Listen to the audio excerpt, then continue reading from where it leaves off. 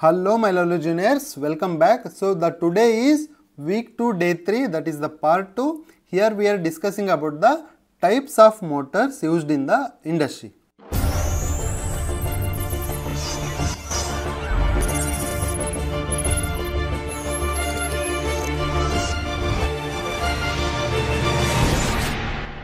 Okay. So these are the electric motors used in the industry.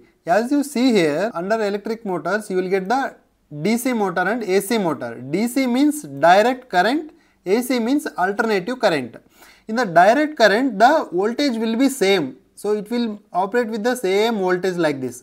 But in the AC current the voltage will be changing as per the speed. If you want to increase the speed the voltage will increase. If you want to decrease the speed the voltage will decrease like this.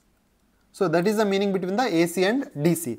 So in the under DC we will get the brushless motor, brushed motor and under brushed motor we have series wound, shunt wound, like uh, compound wound and permanent magnet. So these are all the types of motors comes under DC current. Under the AC we have synchronous motor and induction motor.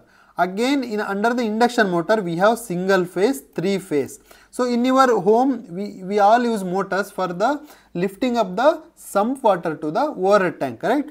All the way we are using the single phase motors. But in the uh, maybe in your farm and all like uh, we will use the three phase motors most of the times to lift the irrigation water to the farms.